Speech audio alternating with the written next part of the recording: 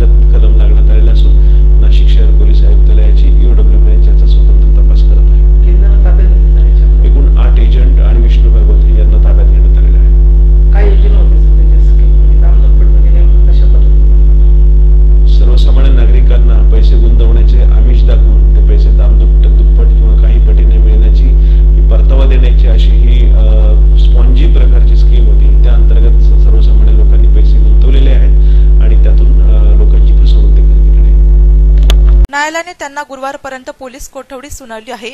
भागवत विरुद्ध हिमाचल प्रदेशच्या चंबा पोलीस ठाण्यासह पुणे ग्रामीण पोलीस हद्दीतील आळेफाटा नाशिकच्या जायखेडा भाडूप जळगाव धुळे नंदुरबार अहमदनगर पिंपरी चिंचवड या शहरात गुन्हे दाखल आहेत. नाशिक सिटी न्यूजसाठी प्रतिनिधी रोहन दानी नाशिक.